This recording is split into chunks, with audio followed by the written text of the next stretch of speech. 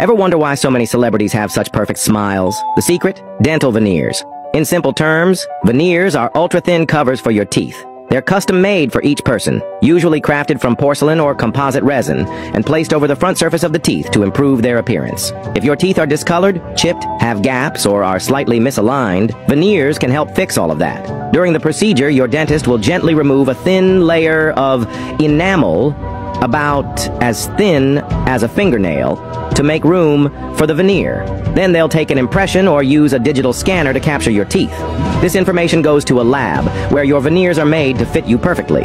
Once ready, your dentist bonds them to your teeth with a special adhesive, then uses a curing light to harden and secure them in place. Just like that, your smile gets an instant upgrade. Veneers look natural and resist stains, and with proper care, they can last anywhere from 10 to 15 years.